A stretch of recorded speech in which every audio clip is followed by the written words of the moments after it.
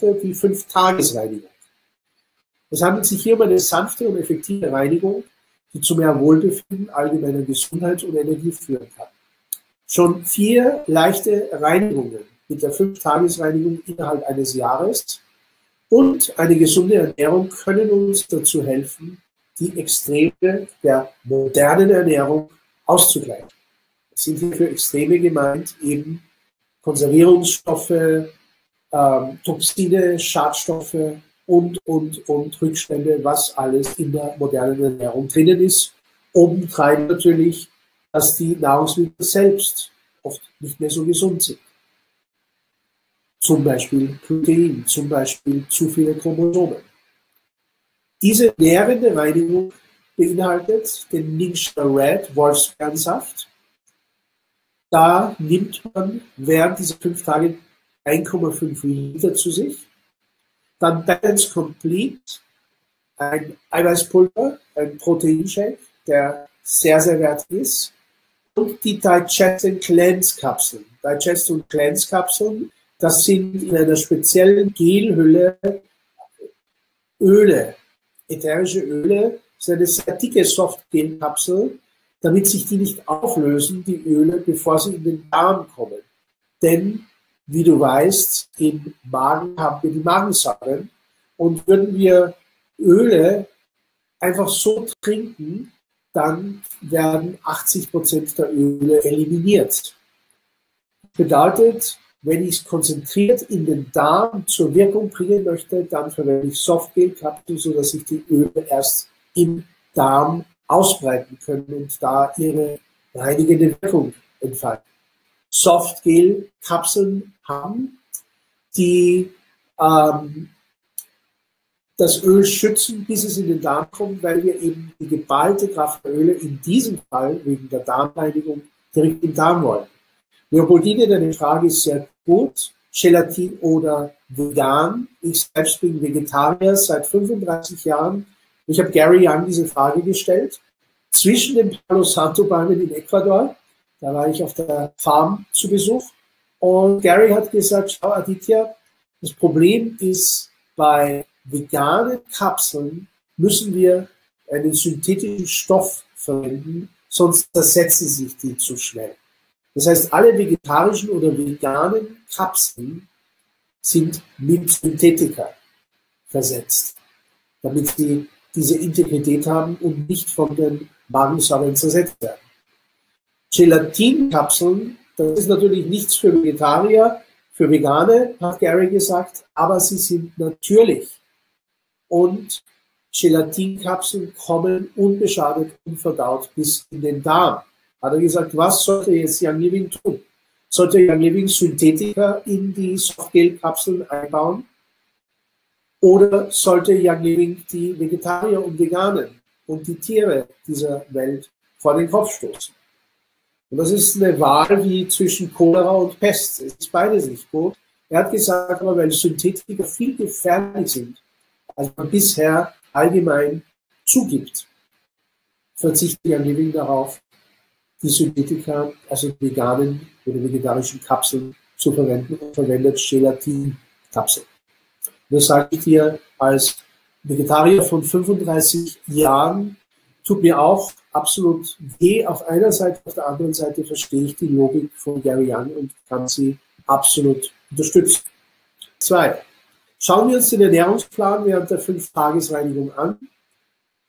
Es wird genau vorgegeben, was du zum Frühstück, zum Mittagessen und zum Abendessen zu dir nimmst.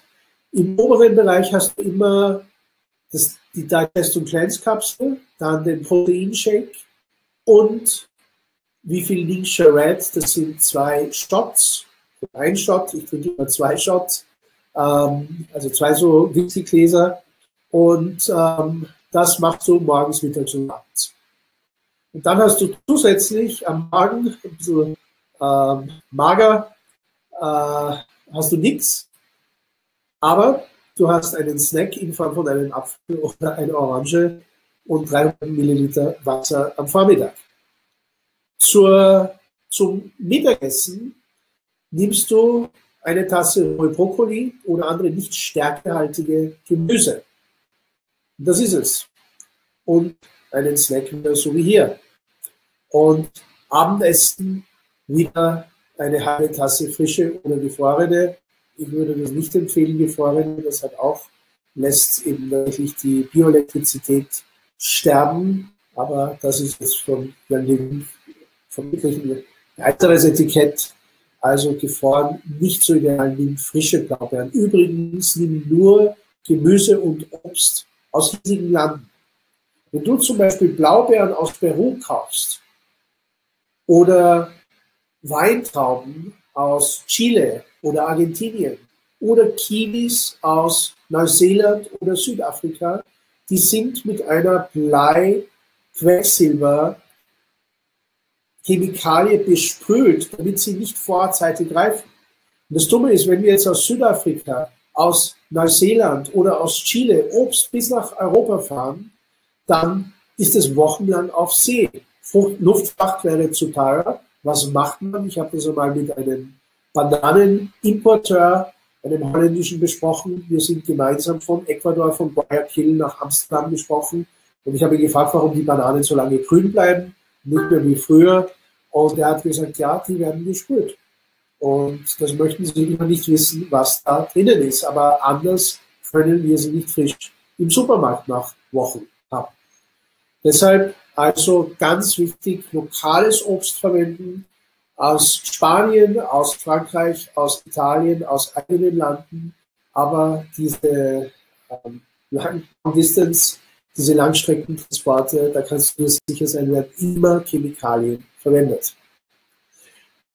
Du kannst natürlich normal frühstücken, Mittagessen und Abendessen, dann wirst du den Effekt alleiniger nicht haben. Das heißt, dieses Frühstück, dieser Snack, dieses Mittagessen, inklusive dem, was unten steht, und dieses Abendessen, mit dem, was hier unten steht, ist ideal, um den Leptinzyklus zu unterstützen, empfiehlt es sich, alle Snacks dazwischen aus dem Ernährungsplan zu streichen. Das heißt, der Snack ist eigentlich das, was hier steht. Und das Frühstück, Mittagessen, Abendessen ist das, was hier steht. So ist das zu lesen. Aber das ist natürlich ziemlich hart, wenn ein hoher Metabolismus vorliegt. Das heißt, man äh, wälzt sehr schnell um oder man metabolisiert sehr schnell, hat man natürlich sehr viel Hunger. Und dann sollten die vorgeschlagenen Snacks hinzugefügt werden. Das heißt, idealerweise sollte diese Kur sogar überhaupt nur so gemacht werden mit diesen Grundstoffen. Ich habe es gemacht und ich kann dir sagen, das ist eine der härtesten Kuren am ersten, zweiten Tag. Ich habe persönlich massive Kopfschmerzen gekriegt, weil eben die ganzen Giftstoffe aus den Zellen kommen und dann wieder rezirkuliert werden, bis sie ausgeschieden werden. Aber ich kann dir sagen, es ist die effektivste Reinigungskur, die ich kenne. Nach fünf Tagen oder nach vier Tagen schon, ich laufe in der Wohnung rum und ich würde am liebsten Bäume ausreißen. So eine unbändige Energie bekomme ich von dieser Kur. Was wirklich erstaunlich ist, was da eigentlich in uns für eine Kraft schlummert, wenn wir gereinigt sind, wenn wir Gifte draußen haben. Also dieser Leptinzyklus ist eine sehr, sehr interessante Sache. Da gibt es auch Literatur dazu, dass man zwischen dem Frühstück und dem Mittagessen fünf Stunden verstreichen lassen sollte und nichts dazwischen ist und dass man zwischen dem Mittagessen und dem Abendessen wieder fünf Stunden verstreichen lassen sollte und nichts ist. Und dass man zwischen dem Abendessen und Frühstück elf Stunden verstreichen lassen sollte und dazwischen nichts ist. Und das hat dann einen sehr, sehr wohltuenden Effekt auf das Leptin und du kommst in einen ganz anderen Stoffwechsel hinein. Die Digest- und Cleanse-Kapseln sollten stets 30 bis 60 Minuten vor dem Proteinshake eingenommen werden, um die Effektivität und Bekömmlichkeit des Proteinshakes zu erhöhen.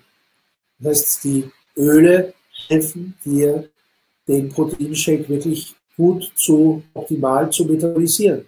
Es kann zu leichten Unbehagen, Kopfschmerzen, bei mir war es nicht leichte Kopfschmerzen, sondern schwere Kopfschmerzen. Offenbar hatte ich sehr viele Gifte im Körper oder Heißhunger kommen. Der Balance Complete gleicht dies aus, nachdem es ein paar Minuten im System wirksam geworden ist. Sollte es zu Blähungen durch die Fasern kommen, Balance Complete hat sehr viele Pflanzenfasern, die natürlich auch reinigen. Dann kann zusätzlich Digestion Cleanse mit jedem Shake oder wenn nötig zusätzlich mit Detox sein. Wir kommen zu diesen äh, Enzymkapseln noch genommen werden. Das gleicht es dann aus. Zweiter Tag dieser fünf Tagesreinigung. Genau das Gleiche. Und wer möchte, das als Snack am Morgen, das als Snack zu Mittag und das als Snack am Abend. Also, es bleibt spartanisch, wer es richtig durchziehen will. Und auch wer zusätzlich snackt, hat nicht wirklich viel. Aber es beginnt das Kopfweh, in meinem Fall, geregelt zu werden. Gegen Ende des zweiten Tages und es beginnt schon langsam dieses Gefühl nicht nur dieser brillanten Reinheit in den Zellen sich einzustellen, sondern auch schon, es kommt Energie. Erstaunlicherweise, obwohl man jetzt zwei Tage fast nichts gegessen hat.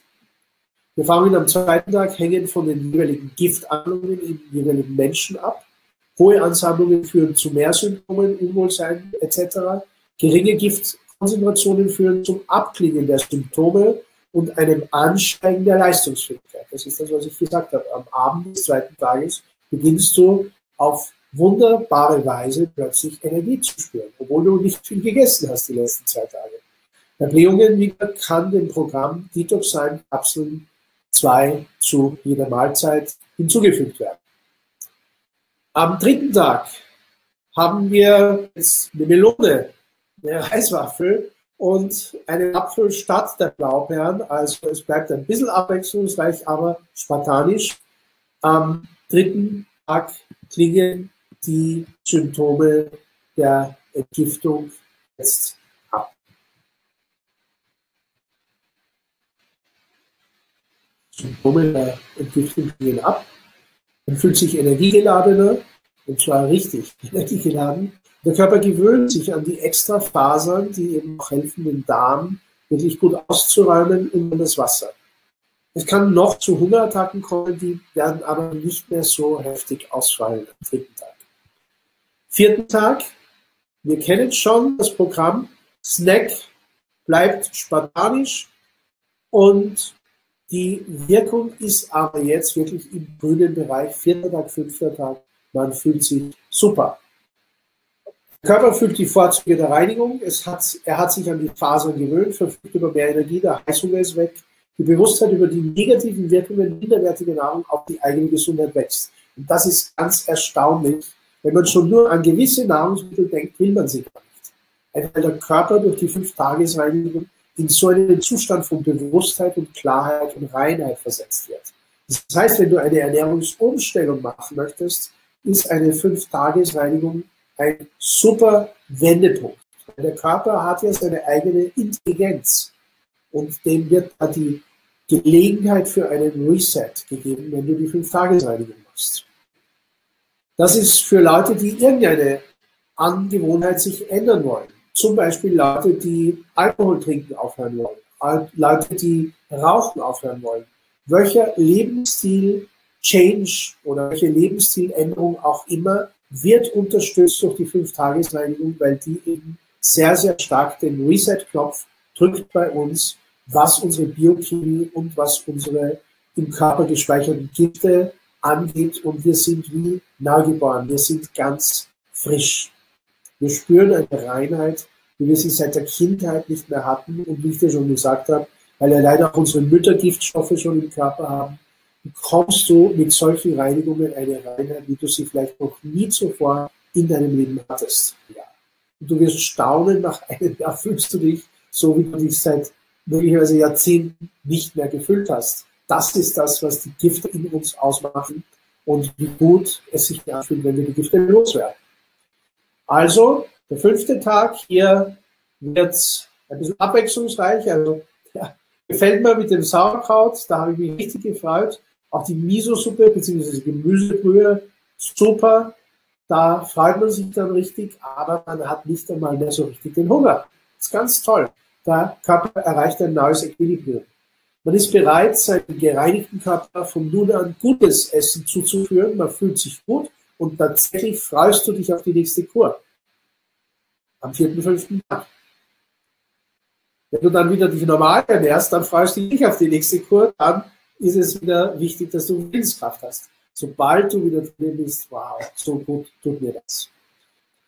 Anmerkung, dieses lediglich ein Startprogramm. Intensivierte und zielgerichtete Nahrungsergänzungsmittel können je nach persönlicher Situation erforderlich sein. Zum Beispiel, wem Enzyme fehlen, der sollte dann Detox Sulfur sein, Essential sein zum Beispiel verwenden. Wem Mineralien fehlen, in vielen Leuten heute fehlt Magnesium. Das ist eine Riesenliste. Es gibt ja auch das interessante Buch, der Magnesium Miracle dazu, das Magnesiumwunder. Wenn du das mal liest, dann siehst du, was solche Mangelerscheinungen von einem so wichtigen Mineral Magnesium alles bewirken können. Superkal und Merkal zum Beispiel sind hervorragende Quellen von Magnesium und Calcium. Das wäre Core Essential Complete. Du siehst, man ist hier sehr, sehr gut aufgestellt und das wird auch dann erklären hinterher, wenn wir die Aufbauprodukte uns anschauen, warum die so wichtig sind. Das sind wirklich die Kern Essenzen, die Kernnahrungsergänzungsmittel komplett. Das, was der Körper wirklich braucht.